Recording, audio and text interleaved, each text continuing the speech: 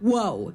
Okay, can we talk about Miley Cyrus's new song Flowers for a second? You guys have done an excellent job of deciphering that this song almost definitely is about Liam Hemsworth. Let's break this down. First, she released the song the evening before his birthday.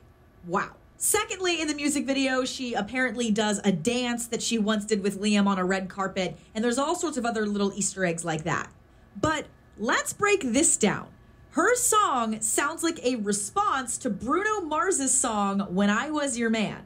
And from the research I've done, there's apparently a fan rumor that Liam Hemsworth called a radio station after his breakup from Miley and dedicated When I Was Your Man to her. Let's get into it though. Here is the comparison of the lyrics.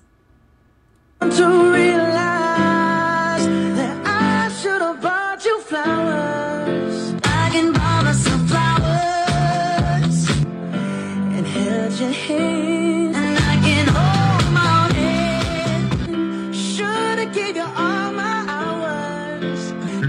To myself for hours. Take you to every party 'cause all you wanted to do was dance. I can take myself dancing. Now my baby's dancing. Wild. Whatever the song's about, there's no denying it's a banger. And Miley, thank you for being such a constant throughout my life growing up as a young woman. We've come a long way from the Hannah Montana birthday party days, but you will rock forever.